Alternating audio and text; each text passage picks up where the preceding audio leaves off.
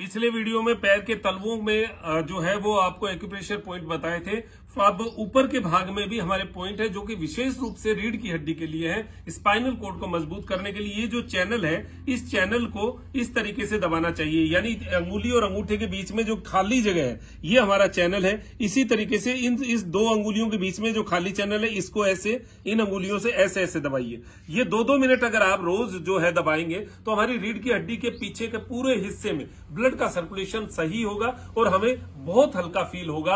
अगर कोई आपका ट्रीटमेंट भी चल रहा है, वो भी चलाते रहिए। साथ में एक्यूप्रेशर का जो ये पॉइंट है, ये भी आप अपने हाथों से दबाते रहिए। दोनों पैरों में, दोनों हाथों से इस तरीके से दबाइए। ये नसें हमारी जो है, रीढ़ की हड्डी को मज़बूत करेंगी।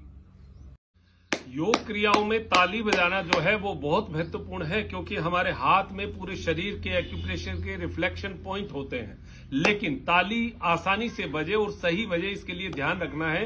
कई लोग ताली ऐसे बजाते हैं हार्ड तरीके से। हार्ड तरीके से ताली बजाएँगे दो तीन दिन में यहाँ पर ये हड्डियाँ, ये दर्द करने लग जाएँगी।